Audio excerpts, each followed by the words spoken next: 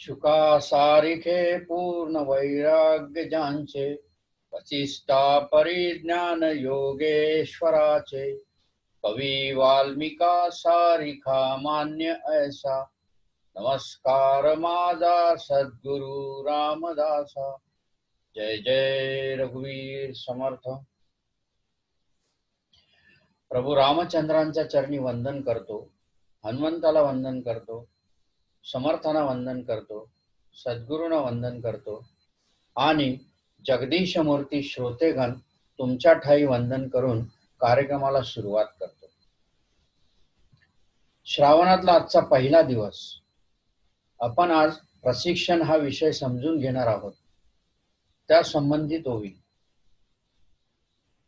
जाणत्याची संगती धरावी जाणत्याची सेवा करावी जाणत्याची सद्बुद्धी घ्यावी हळूहळू. या ओवीचा अर्थ जाण त्याची संगत धरावी त्याची सेवा करावी त्याची सद्बुद्धी हळूहळू आपलीशी करून घ्यावी. सूक्ष्म ज्ञानदृष्टीने अंतरात्मा पाहण्याची जी बुद्धीची स्थिती आहे तिला सद्बुद्धी म्हणतात. श्रोते हो समर्थ या ओवी प्रशिक्षणाबद्दल सांगत आहेत. जसे तुम्ही नोकरी करत असाल उद्योग व्यवसाय करत असाल किंवा इतर कोणतेही कार्य करत असाल प्रत्येकाला करत असलेल्या कामात प्रगती हवी असते. त्यासाठी आवश्यकतेनुसार वेळोवेळी प्रशिक्षण घेतले पाहिजे. उद्योग व्यवसायात आपल्याला पाहिजे तशी प्रगती मिळवण्यासाठी जाणत्याची म्हणजे ट्रेनर कोच मेंटोर एक्सपर्ट्सकडून प्रशिक्षण घ्यावे. व ते ज्ञान आपल्या बुद्धीत मुरवावे.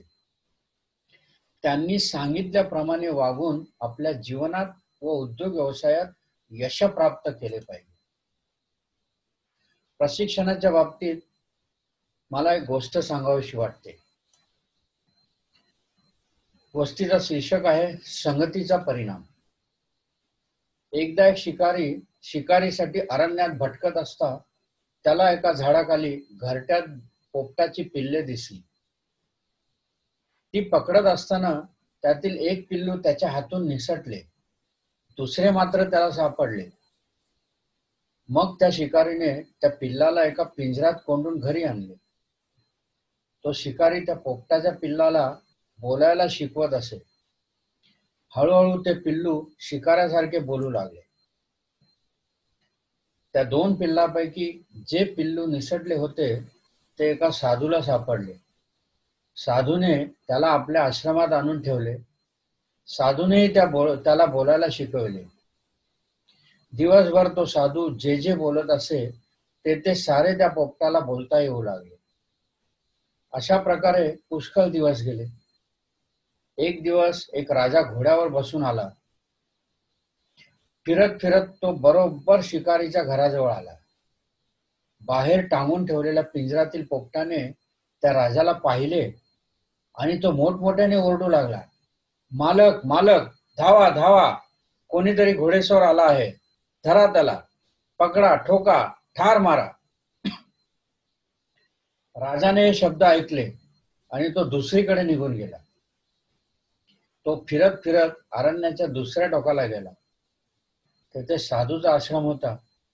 त्या आश्रमातील पोपटाने राजाला पाहिले आणि म्हणाला या या सुस्वागतम.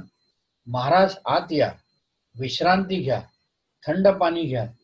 गोड फळे घ्या. साधू महाराज आपल्या आश्रमात महाराज आले आहेत.